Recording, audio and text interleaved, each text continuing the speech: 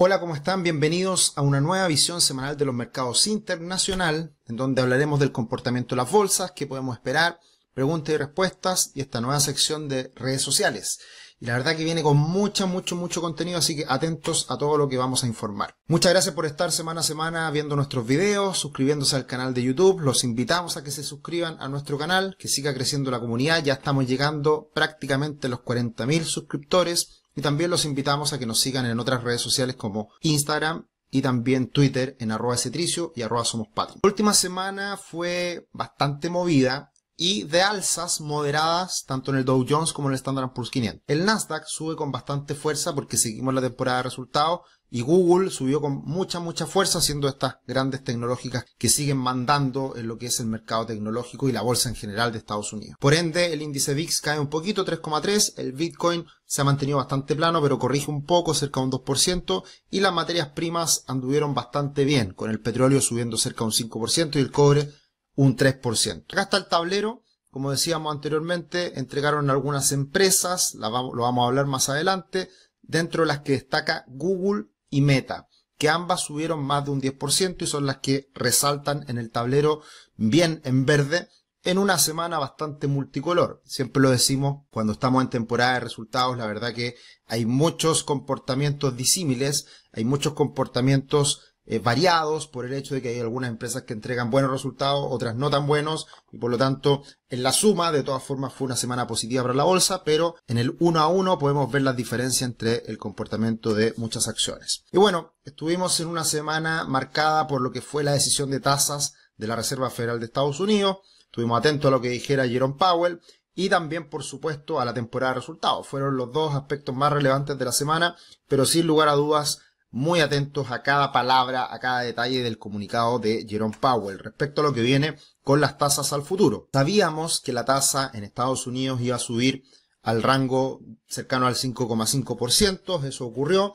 pero lo importante era ver la declaración posterior, tanto el comunicado como la eh, reunión de prensa, la entrevista que le hacen a Jerome Powell al poco tiempo después de entregar el comunicado. Porque hasta ahora Jerome Powell venía diciendo que era necesario subir las tasas más aún a lo largo del año. Es decir, que no terminaba este ciclo de alza de tasas con esta reunión, sino que muy probablemente iba a venir otra más hacia fin de año. Y eso cambió, en, el sentido de que deja la duda y deja condicionado a los datos macroeconómicos qué es lo que va a hacer la Reserva Federal. Era esperable, eh, bajo mi punto de vista, porque el mercado en ningún momento ha esperado una alza adicional, pero Jerome Powell y la Reserva Federal seguían muy preocupados con la inflación. Y por lo tanto, ahora se acopla a lo que el mercado esperaba y va a estar en función de las cifras económicas, crecimiento y también inflación, de qué es lo que haga la Reserva Federal en los próximos meses. La particularidad de lo que ocurre post esta decisión de tasas que vienen, falta harto para la próxima reunión, va a ser a mediados de septiembre. Entonces van a haber dos datos relevantes en este periodo de tiempo a conocer. Empleo y también inflación, en dos oportunidades antes de la próxima reunión de tasas. Ahora, va a ser también importante lo que ocurra con Jackson Hole este simposio que se realiza una vez al año por los banqueros centrales, que siempre es importante como para comenzar el año en, Estados Unidos, eh, que se hace a fines de agosto. Recordemos que está entrando Estados Unidos Europa en, en plenas vacaciones, es un mes bastante tranquilo, pero septiembre en cierta medida es el marzo chileno. Por lo tanto, podría eventualmente de aquí a esa fecha entregar más información a partir de los datos y, ver cómo viene la, cosa. Pero deja esta situación más bien en pausa a la espera de los datos y eso va a ser relevante semana a semana cuando vayamos conociendo todos estos datos que son importantes para esta decisión. Y podemos ver dos datos que fueron muy importantes también a lo largo de la semana después de la reunión de política monetaria, como es el crecimiento del segundo, del segundo trimestre preliminar que salió muy por sobre lo esperado. O sea, Estados Unidos está muy lejos de entrar en recesión, que era lo que todos esperaban. Evidentemente muchos esperan que esto ocurra hacia fin de año, principios del próximo. Pero todavía estamos viendo una economía norteamericana muy fuerte. Y por otro lado, indicadores quizás más recientes, que son las peticiones semanales de desempleo, también salieron bastante buenas. 221.000 peticiones, que es bastante más bajo de lo que se esperaba y, y, bajo el rango normal de peticiones semanales de desempleo. Así que los datos están saliendo muy buenos. Por otro lado, eh, en cuanto a economía, en cuanto a crecimiento, pero por otro lado también la inflación se está controlando Y el Core PCA, que es un indicador que mira la Fed, también ha bajado fuertemente y está en el 3% en los últimos 12 meses. Así que diría que hasta ahora, hasta ahora, y no podemos cantar victoria, eh, eh, la Reserva Federal ha hecho una política monetaria muy correcta, subir las tasas, controlar la inflación y mantener el crecimiento, que es la tarea más difícil que puede tener un banquero central. Y por lo tanto está por verse, vamos a ver qué pasa en el futuro, pero, pero hasta ahora la, verdad que la situación se ha controlado muy bien en poco tiempo. ¿Y qué es lo que ha pasado básicamente en el mercado norteamericano desde que se comenzaron a subir las tasas de interés? El 16 de marzo del 2022, las tasas se subieron del 0 del 0,5 al 5 y fracción, o sea, 5% subió la tasa, una, una, alza de tasa muy violenta, muy fuerte en poco tiempo, pero la bolsa norteamericana de estas alzas de tasa está ganando un 5% desde el momento en que comenzaron las alzas de tasa. Así que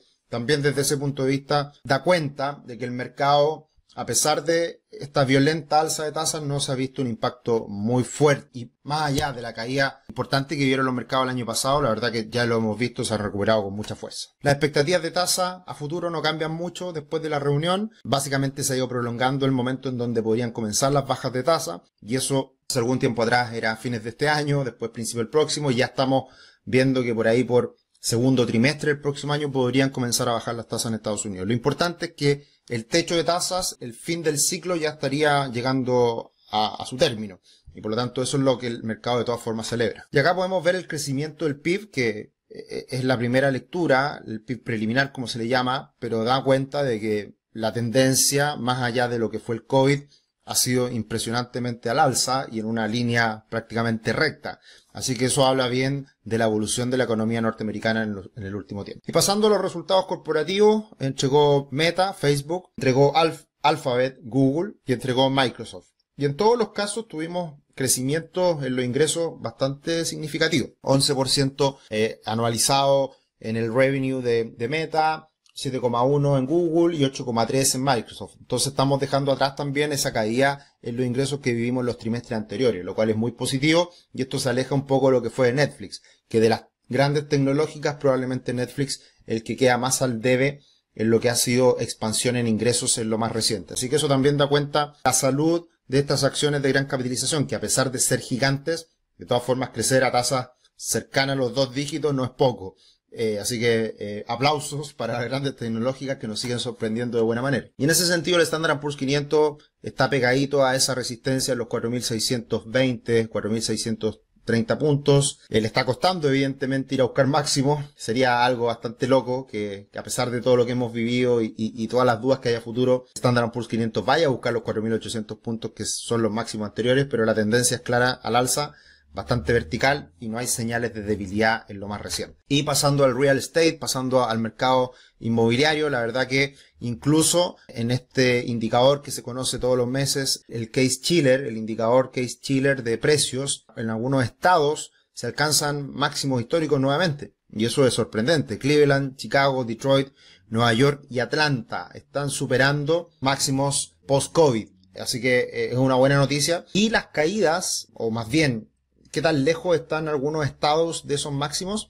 Tenemos a Seattle y a San Francisco con un 11% de distancia de esos máximos históricos. Si miramos Miami, Tampa, que, que son mercados que, que fueron de bastante interés para los chilenos en el último tiempo, vemos que también están en, en, niveles bastante cercanos a los máximos. Así que no ha habido caída en precios ahí. El último mes fue bastante positivo y en el año a año la verdad que vemos un Miami subiendo un 3,4%, un Nueva York 3,5%, Tampa un 0,7, así que la verdad que bastante saludable también los precios de la vivienda en Estados Unidos. Y donde estamos viendo un poquito más de preocupación, que es normal después de las alzas de tasas en Europa, es que eh, ha bajado de manera importante la demanda de crédito de empresas en la eurozona, que es normal después de esta alza de tasas y ahí se empieza a complicar un poquito la situación en que está teniendo efecto la alza de tasas, pero como ha sido la tónica en los últimos años, a Europa le ha costado más salir de dificultades, a diferencia de Estados Unidos que ha sido mucho más resiliente post crisis 2008-2009. Así que datos interesantes mirar de, de, Europa. y ver qué es lo que pasa en otros países también del mundo. Futuro comienza hoy, conoce la primera plataforma de planificación financiera de Chile, crea tu cuenta gratis y obtén estos 25 mil pesos para comprar cursos. Vienen varios cursos más adelante, así que atentos, guarden su gift card o hagan la valer desde ya en todos los cursos que tenemos en la plataforma. Se pueden meter en www.patrimor.com y ahí está toda la información disponible para ustedes. ¿Qué podemos esperar para la próxima semana? Primera semana del mes, importante non-farm payrolls, lo que son los, em, la creación de empleo no agrícola en Estados Unidos, que se espera un nivel parecido al último mes, 200.000 empleos creados, que también es bastante saludable para una economía como la norteamericana. También conoceremos el ICM de servicios, que siempre es importante, está en 53 puntos y cualquier señal de debilidad ahí habría que preocuparse. Siempre es un indicador muy importante, también se mira el PMI manufacturero, pero hoy en día servicios pesa mucho más en la economía norteamericana. Y también tendremos entrega de resultados, destaca el día jueves con Amazon y Apple, que cierra este ciclo de las grandes tecnológicas. Va a faltar Nvidia, que viene más adelante, entrega AMD, que igual puede ser una lectura interesante respecto al mundo de, los semiconductores. Entrega también Uber, eh, entrega Starbucks, bueno, muchas empresas más, así que una semana recargada de resultados corporativos, donde destaca Amazon y Apple el próximo jueves. Esta semana el FMI actualizó sus proyecciones de crecimiento, no hay grandes cambios, para este año se espera un crecimiento del 3%, próximo año igual, economías desarrolladas un poco más débiles, 1,5, 1,4 el próximo año y la, economía emergente es creciendo obviamente un poquito más que el resto. Así que la verdad que el, el que estemos estables creciendo el mundo en torno al 3%, que es el crecimiento histórico promedio, la verdad que es bastante positivo y por ahí también no hay grandes cambios. Y en cuanto a estadística de lo que viene en agosto para las bolsas norteamericanas, agosto tomando en consideración el año preelectoral como es este desde 1950 en adelante, la verdad que es un mes bastante plano, ni fu ni fa, no es un mes que uno pueda decir va a estar muy positivo o muy negativo, está más bien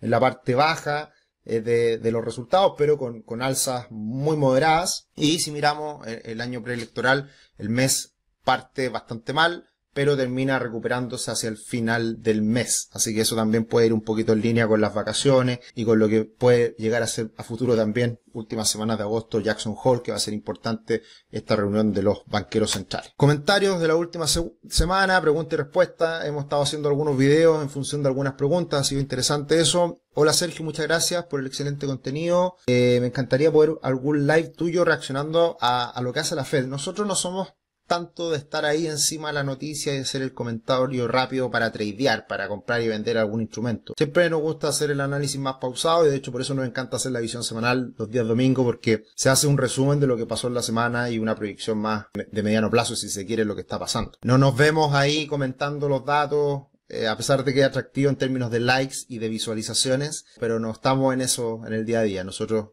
somos de una postura más de inversión de mediano a largo plazo. A futuro probablemente haya algún producto, alguna cosa que saquemos en relación a eso y quizás no, no nos metamos en ese mundo, puede ser, no lo descarto. Pero por ahora la verdad que no, no lo hemos hecho precisamente por, eso. Y también, excelente video como siempre, quisiera saber si es posible que hiciera una especie de día a día con Patrimor para conocer cómo hacen su análisis, la ejecución de operación y conocer cómo está constituido su equipo. Por otra parte, saber si están pensando en crear una app móvil para aquellos que tenemos cuenta con ustedes, podamos revisar nuestros balances de cartera, etcétera. Otro punto, ¿cuál es su postura respecto a los fondos de DBA? Son tres preguntas en una. Eh, sí, interesante lo que nos planteas. La verdad que eh, la idea es poder transparentar más lo que hacemos en el día a día para que se hagan una idea mejor de, de, lo que somos y lo que proponemos. Así que muy buena idea. No, sé cómo lo podríamos plasmar de, de, una manera atractiva, porque la verdad que es harto el trabajo que hacemos con nuestros clientes. Respecto a una, a una app móvil, eh, viene en el futuro, eh, es parte del desarrollo que tenemos eh, planificado, pero no en, el corto plazo, sino que más a mediano plazo. Respecto a los fondos de DBA, tenemos una, una muy buena percepción de ellos. De hecho, hay un par de fondos que lo hemos estado siguiendo y que podríamos incorporar en el futuro a las carteras que,